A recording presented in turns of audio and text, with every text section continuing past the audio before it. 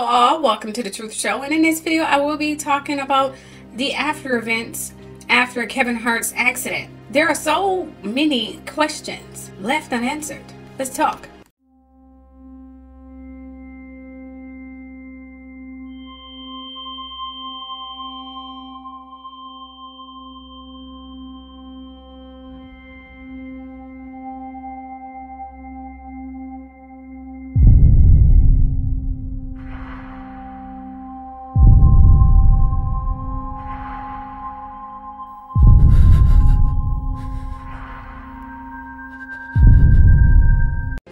Speak about this. Now, truth be told, I was not going to.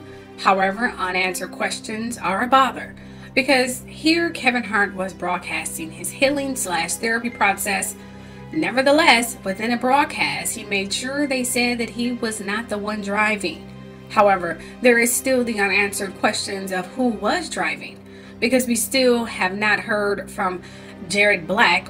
Oh, Rebecca Roxteman and he could have died. And also, it was told that Hart had spinal surgery. Well, let's take a closer look at those injuries. However, here is an inside look at how spinal surgery is done. All right, so we're going to go back um, into the area of surgery through these doors here, and we'll get back into the area we're going to do surgery at. So we're getting ready to go into surgery. Um, there's a lady that we're going to operate on who has spinal stenosis, which is narrowing of the spinal canal. So what she has, she has narrowing of the spinal canal, which is pinching the nerves in her back. So she has bad pain in her back and down her legs. And she can't walk hardly at all because she has so much pain. So we're going to operate on her back to open up her spinal canal to unpinch the nerves. So the first thing we do out here is we scrub our hands. Obviously, you've seen it on TV. You do this for a few minutes um, in between cases, and that keeps everything nice and sterile. We just finished scrubbing at the sink. Now we're in the operating room, so we're going to get our gowns on. So the nurse here is going to help us get our gowns on.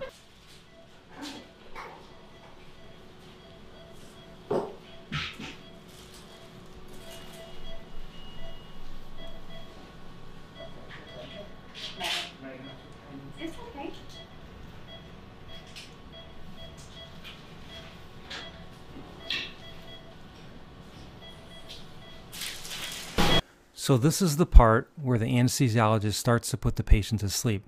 So you can see he has actually given the patient through an IV multiple agents, including a muscle relaxant and several other agents that help the patient fall asleep. So within 10 seconds of giving this medication, the patient will literally just fall asleep. Now you can see that we got everything draped off sterilely. So we got all the sterile drapes on the patient and the back is exposed. And so we're gonna get ready to make incision here in a minute.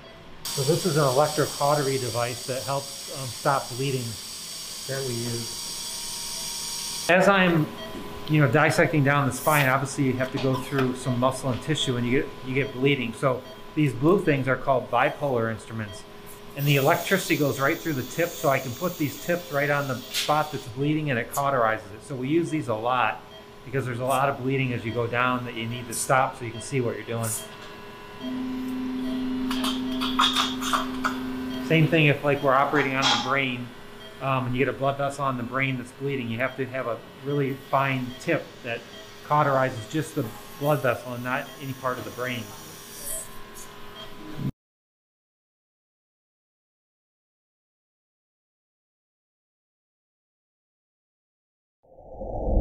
Now, it's evidentiary that he did have surgery. I'm not doubting that. Although doctors and friends said that his scar does not look three months old and it looks like it was drawn. However, not going there right now because people's bodies heal differently. Considering I've had four surgeries and I have a personal insight into how scars heal, however, I'm not going there because I want to talk about the unanswered question on who was driving. In order to debunk that, we need to take a closer look at his pictures and videos.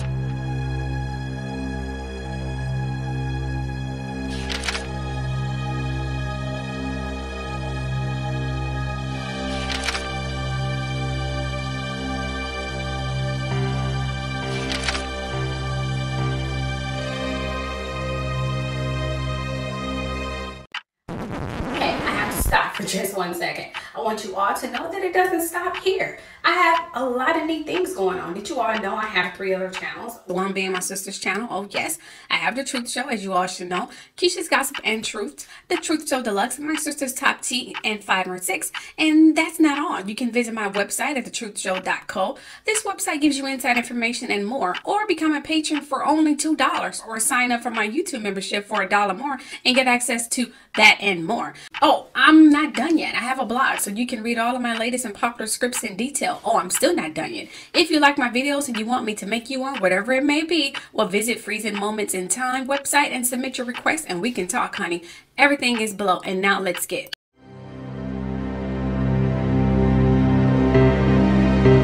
Not forgetting it has been about three months and he wears a lot of body makeup, which makes it hard to help you. Here are some pics of different types of steering wheel injuries.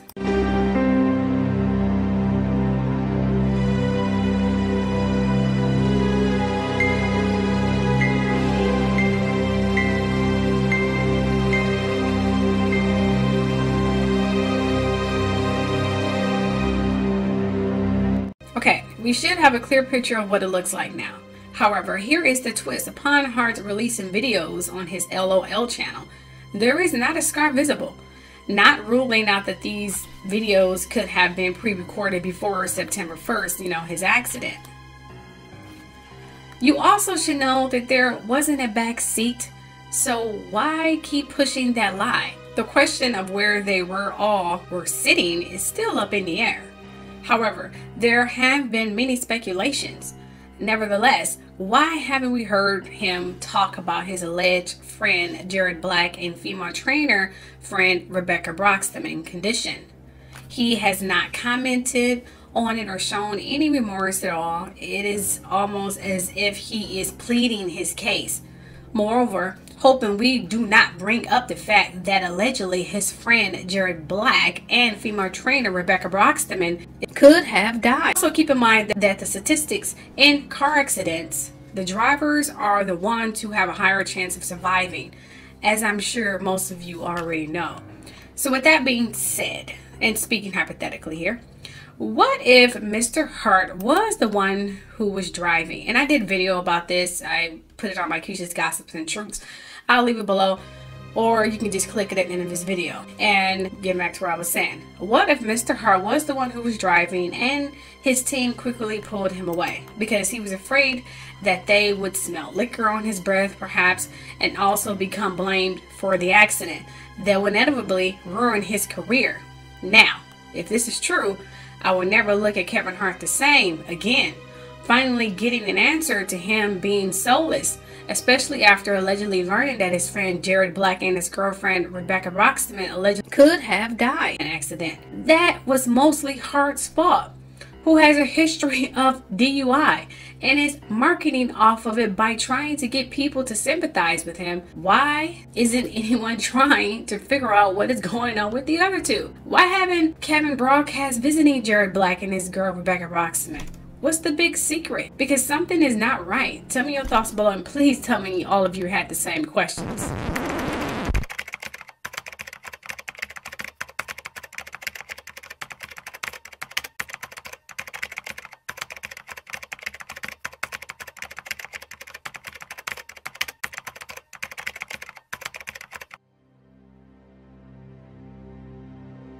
Now keep in mind what I said earlier about the passengers, backseat passengers are the ones who always ends up with the most injuries, not the driver. I want you to keep that in mind. This uh, young man is undergoing a lot of therapy. He got really, really damaged, which is kind of unlikely if he was the one who was driving. And if you notice in my statement that I'm about to read off, she didn't mention anything about him being the driver or not. Literally. Here, here's what she said. She said, grateful and blessed. September 1st, 2019 was the scariest day of my life. God was definitely watching over us that night and protecting us. Thank you, Lord, for wrapping your loving arms around us in our time of need. Written 9 17 19. First of all, I want you all to know that ultimately, all three of us in the car wreck are alive and recovering. And that's what matters the most. It is going to be a long road to recovery, but we have the best support team. The scariest part for Jared and I was being separated after both being airlifted to UCLA. Just a lot of rest and physical therapy ahead for both of us. Jared is the strongest person I know and he will get through this. We still have each other and that's what matters the most. This could have had a completely different outcome and we feel so blessed that it was not any worse. From the bottom of my heart, thank you for all of the prayers, phone calls, texts, and messages. It means the world to us that we feel so much love and support from you all at this time. I will keep you all updated as we embark on this new journey. Today, feeling so much better, we are both healing. Jared is well on the road to recovery. After having major back surgery, we are doing physical therapy together a few times a week. Our relationship is stronger than ever, and we have so much to be thankful for. Life can take you in many different directions, and we are just so happy to be here for it all. We have felt so much love these past 2.5 months and that doesn't go unnoticed. So thank you to each of you. This is our journey. It will have ups and it will have downs, but we will always have each other at Jared Staten. I love you so much and, and am thankful that we are doing life together. Now, it's been like almost three months. And remember I told you in my last video, if you follow Kisha's Gossip and Truths, if um, Rebecca was sitting on Jared's lap, I will expect some kind of injury and I would expect him trying to save her from going through the windshield. Hence, he probably would have grabbed her, you know, over the chest using his arm. Hence, the arm sling that he's currently wearing at this moment. And her bruises is where are they? They practically invisible. It was rumored that she practically walked away from that. She may have a little back problem and maybe, maybe even need a little bit therapy, but she practically walked away from that. It looks like he took the brunt of the accident, mainly from the back, from the car, things of that nature. That's what it looks like to me. Maybe some glass scattering. I'm not sure of the exact conditions there, but that that's what it looks like. Um, it doesn't look like he was driving to me, but I'm not an expert. Remember, the passengers are are the ones that who gets hurt the most. Tell me your thoughts below on this. It's still a little bit suspicious, and it's really suspicious that she didn't even say, "Oh, I'm sorry for driving," or "He's sorry for driving." I don't know if his lawyer or their lawyer is telling him not to say that, but the truth definitely need to be brought forth. Seriously.